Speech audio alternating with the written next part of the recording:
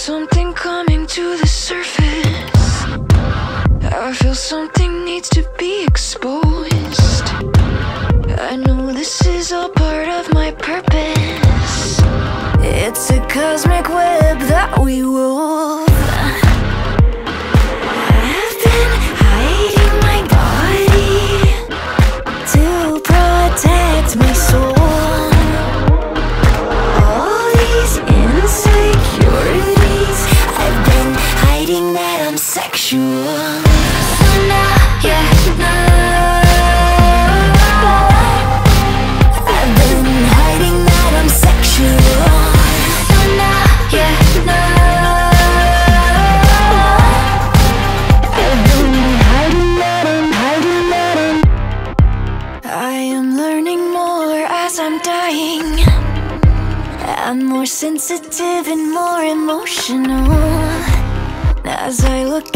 inside myself I'm finding This is spiritual.